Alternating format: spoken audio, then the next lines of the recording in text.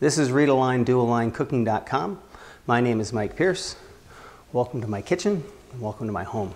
Today we're going to do a really simple, at least we're going to start a really simple product review. It's just these, these things. And the reason I'm going to do a review is because I started to open them and I immediately realized what kind of frustrates me. Doesn't mean they're bad. I just thought I would show you the open box experience or box opening experience, whatever you want to call it. And then I'll probably keep them for a week. I'm going to keep them anyways, but I'm going to use them for a week and then I'll finish this review next week and it'll be one video.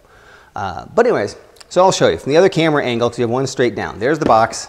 You buy it, I, it says $49.99. That's probably what I paid. I don't remember. I don't have the receipt because I bought it a few months ago and never got around to opening it. So anyways, it's just got this little flap. You open it. There you go. Well, that's lovely. This is all fine. These are very pretty. And I have a little sticker on the bottom to keep the stuff falling out. This is my complaint. This is my big complaint right here. You open that. Do you see what's wrong with this? Come on. Seriously?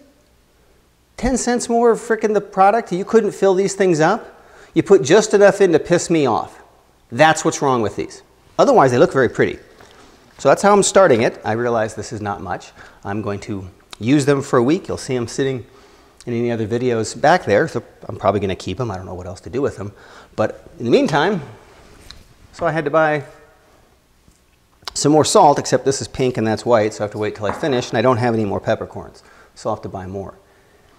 It's kind of annoying to spend $50 or whatever I paid for a really nice set of salt pepper grinders to replace the cheap you know, store ones you buy, and then realize that they couldn't be bothered to put enough of the material in. Anyways, that's it. I'll use them for a week. We'll finish this up. Thank you. Welcome back. It has not been a week, it's been a day. Uh, well, two days. Yesterday, I made a baked potato. I used both salt and pepper grinders, both of them. Pretty much learned everything I needed to know.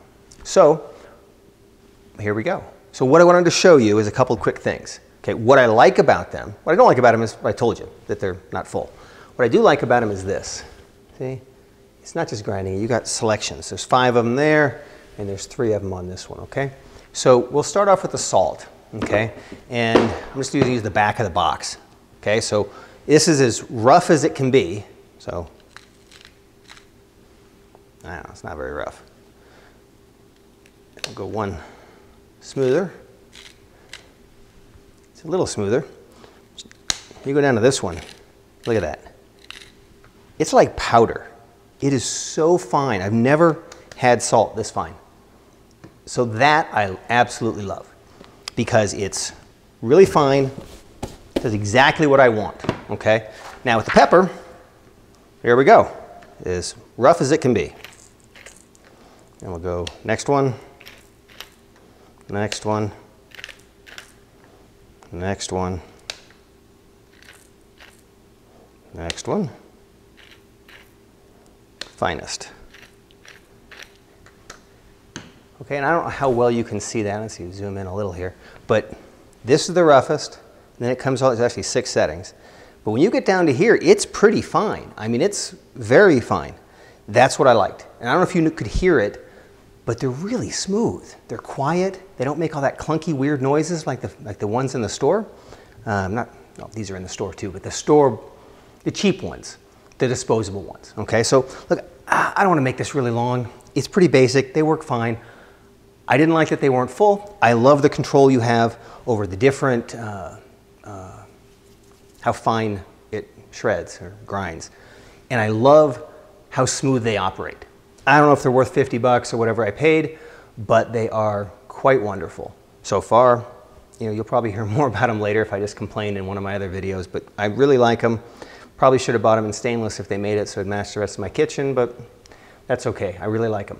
So anyways, that's it. Just a short little video. Uh, come across these things. They're pretty cool. Just know you're to have to buy more pepper and more salt pretty much immediately. Otherwise, they're great. Thank you very much. If you like the video, like it. If you like the channel, subscribe. Uh, visit the website at some point, readalign. Thank you so much. I appreciate it.